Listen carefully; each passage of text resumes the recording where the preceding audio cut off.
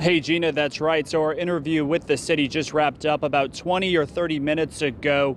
While they say they're working hard to address the catch basin issue, a lot of people are concerned because they say their catch basin is still clogged. So, take a look at this video that we shot not that long ago. Now, this was in the Irish Channel area. There was a lot of crews out working hard to try and address this issue again. They were cleaning out catch basins, they were shoveling, pumping, and hosing out debris.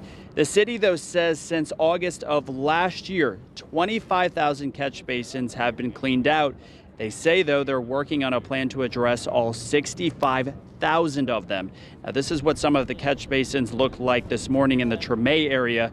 Some were clogged with grass and mud. People who live in that area say something has got to be done.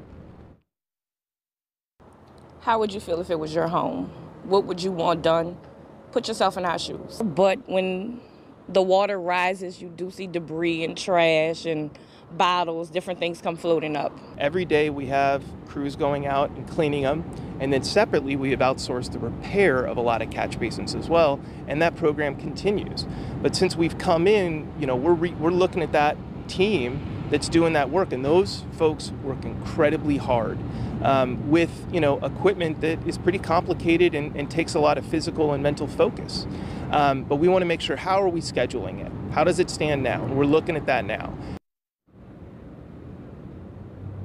So currently 115 of the 120 pumps are operational. There are more than 500 open jobs at the Sewage and Water Board. Reporting live at City Hall, Aubrey Killian, WDSU News.